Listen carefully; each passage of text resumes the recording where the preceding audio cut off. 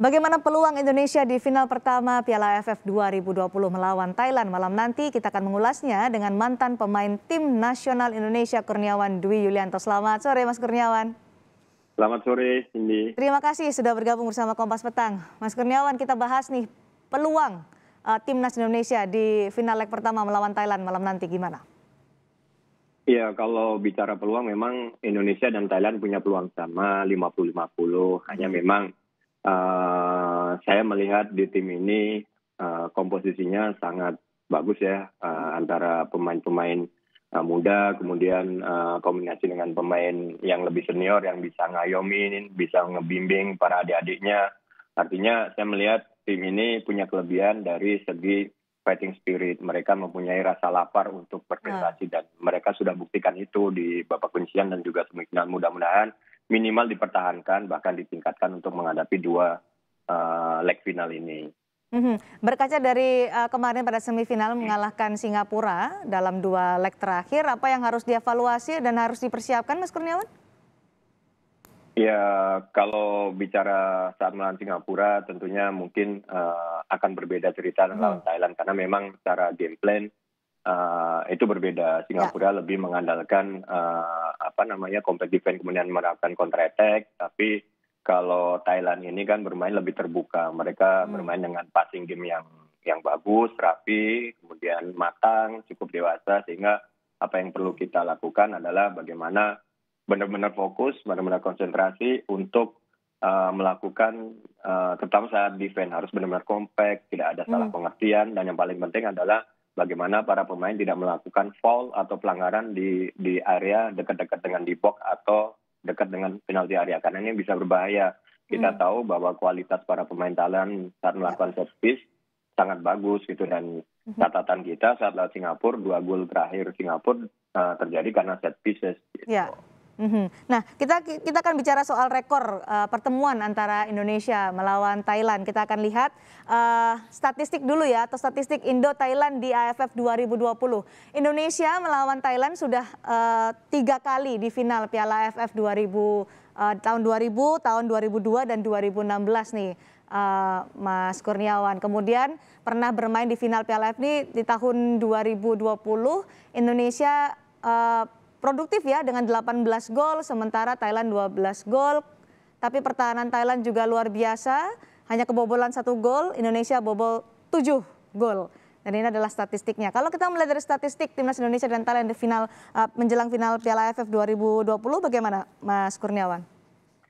Iya, uh, ini uh, apa namanya pertandingan yang sifatnya adalah turnamen gitu kan. Jadi mm -hmm. bagi saya pribadi statistik ini nggak ada artinya gitu kan. Karena pertanyaan sesungguhnya adalah final ya. ini. Jadi statistik bagus, kalau final tidak bermain bagus kan untuk apa? Jadi mm -hmm. ini benar-benar mulai dari nol. Saya berharap para pemain konsentrasi di dua pertandingan ini mm -hmm. uh, harus tampil maksimal, habis-habisan, mati-matian karena setelah dua pertandingan ini tidak ada pertandingan lagi. Jadi ya. ini kesempatan terbesar uh, bagi kita untuk mencetak sejarah dan uh, peluang itu untuk itu ada karena uh. melihat kemampuan dari pemain kemudian yeah. sinergi antara pelatih official dengan pemain ini cukup harmonis gitu dan jadi mm -hmm. jadi tidak ada alasan untuk uh, tidak berjuang menurut saya. Tidak ada alasan untuk tidak berjuang. Kita lihat statistik uh, pertemuan atau rekor pertemuan antara Indonesia dan Thailand di final Piala AFF.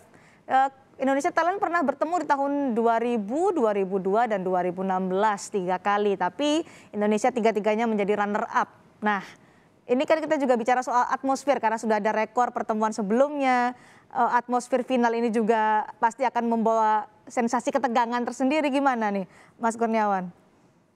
Ya, uh, apa namanya? Kalau saya melihat dari tahun ke tahun, salah satu kelebihan dari tim Thailand adalah uh, kedewasaan mereka bermain, ketenangan hmm. mereka bermain terbukti saat final 2016 pun mereka sempat kalah di home tapi ya. bisa mengalihkan keadaan di di kandang mereka. Artinya mereka uh, cukup matang sebagai uh, sebuah tim cukup matang dihuni oleh pemain berpengalaman mm -hmm. dan uh, ini menjadi catatan juga bagi kita gitu kan artinya uh, kita harus tetap tenang, fighting spirit harus ada, tapi tetap terkontrol. Jangan sampai emosional para pemain.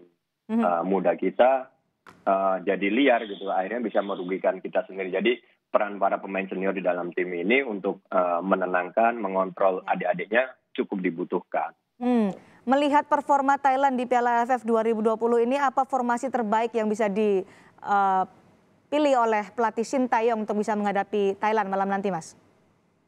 Uh, sebenarnya ini bukan kapasitas saya ya untuk mengomentari, tapi apa pun pilihan dari Coach kita sebagai masyarakat akan mensupport karena faktanya adalah uh, dari penyisian sampai ke semifinal pun coach Jin uh-huh. banyak merubah formasi dan komposisi tim tapi uh, terbukti sangat efektif artinya apa artinya tim ini sangat uh, bersinergi hmm. uh, karena tidak mudah untuk bisa memainkan formasi yang berbeda dalam waktu yang cukup singkat jadi hmm. Di sini hal yang positif adalah para pemain bisa menerjemahkan apa yang menjadi game plan coach Jin. Ini modal yeah. awal, modal yang sangat positif untuk tim kita. Mudah-mudahan mm-hmm. dua leg ini uh, bisa berjalan dengan smooth, bisa memenuhi ekspektasi dari semua masyarakat Indonesia dan kita ikut mendoakan. Oke, okay. uh, bicara soal materi pemain dari Thailand kan isinya pemain senior, mereka juga ada yang beberapa uh, beberapa pemainnya pernah ikut dalam AFF 2016, sementara pemain kita sangat muda uh, ini tantangan atau keunggulan bagi Indonesia? Uh, bagi saya keunggulan ya, karena uh, walaupun usia mereka muda, bagi saya ini adalah pemain masa kini, bukan lagi masa masa datang gitu kan. Mm -hmm. Ini ini saatnya mereka untuk uh, menunjukkan kualitas mereka dan saya uh, menganggapnya tim ini cukup spesial lah karena pemain yang dipanggil adalah pemain yang sesuai dengan kebutuhan. Jadi yeah. dalam tim ini tidak ada istilah first eleven atau uh, pemain cadangan. Semua punya peran yang sama. Siapa pun yang bermain ternyata bisa menjalankan apa yang jadi game plan dari coaching ini suatu hal yang positif mm dan dari produktivitas pun kita melihat kita mencetak 18 gol dan semuanya yeah tidak hanya striker yang mencetak gol, tapi semua pemain dari semua lini mencetak gol dari center back, full back, midfield, winger dan juga striker semua mencetak gol. Artinya uh, ini tidak tidak apa namanya tidak uh, tergantung ke satu pemain. Mm -hmm.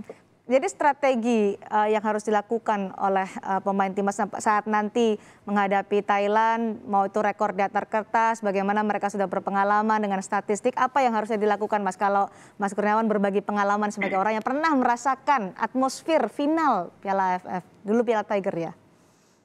Uh, saya melihatnya dari sisi uh, eksternal dulu ya, bukan mm -hmm. bukan di dalam uh, area teknikal atau yeah. teknikal yang perlu dipersiapkan adalah uh, pemain harus lebih rileks, hmm. tidak pressure karena apa pun hasilnya, walaupun kita berekspektasi sangat tinggi, itu jangan dijadikan uh, suatu tekanan, tapi harus sebaliknya harus menjadikan hal tersebut untuk memotivasi mereka. Itu yang pertama. Yang kedua hmm. adalah uh, para pemain tidak boleh teledor, tidak boleh lengah, even hanya 30 second atau mungkin satu menit lah. Jadi harus full fokus panjang pertandingan karena kesalahan sedikit yang dilakukan oleh para pemain bisa menjadi petaka bagi tim kita. Jadi benar-benar full konsentrasi, kerja keras, dan yang paling penting adalah bagaimana ngebongkar uh, compact defense mereka. Kita hmm. punya pemain cepat, kita punya pemain yang punya kemampuan cetak gol. Jadi sekecil apa pun peluang, mudah-mudahan bisa dimanfaatkan mungkin dengan counter attack atau dengan set pieces seperti itu hmm. menurut saya.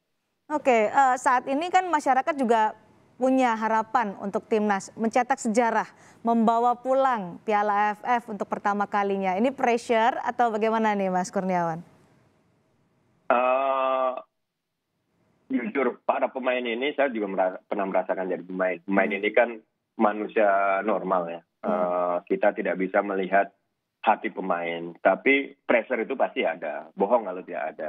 Okay. Tapi di sini adalah uh, peran dari coaching staff dan uh, official untuk bisa menjadikan pressure ini menjadi hal yang positif, tentunya menjadi motivasi, bukan malah menambah beban mereka. Karena once pemain merasa punya tekanan tinggi, kemampuan mereka nggak akan keluar. Dan tapi saya melihat sih so far uh, hal tersebut bisa menjadi hal yang positif karena mereka sudah buktikan di babak penyisian dan juga uh, semifinal, walaupun di penyisian banyak yang mengatakan wah Indonesia seperti ini seperti ini tapi faktanya mereka cukup produktif mereka bisa masuk hmm. final ini adalah uh, kita harus uh, apa namanya berikan kredit untuk official dan juga coaching staff yang bisa mengakomodir sesuatu pressure menjadi uh, motivasi menurut saya. Oke, prediksi Mas Kurniawan malam nanti pada saat uh, final leg pertama melawan Thailand gimana Mas? Uh, seperti apa nih timnas kita? Saya realistis lah ya uh, melihat ke, uh, ini mungkin menang tipis 1-0 atau paling jelek draw lah kosong kosong. Tapi berharapnya menang sih. Hmm, uh, tapi optimis ya bahwa kita akan memberikan yang terbaik nanti pada leg pertama, leg kedua juga pada uh, final Piala AFF 2020. Sangat optimis, tapi tetap uh, kita semua ikut mendoakan, tapi yang bekerja kan para pemain. Jadi saya berharap pemain benar-benar fokus lah di pertandingan dua pertandingan ini.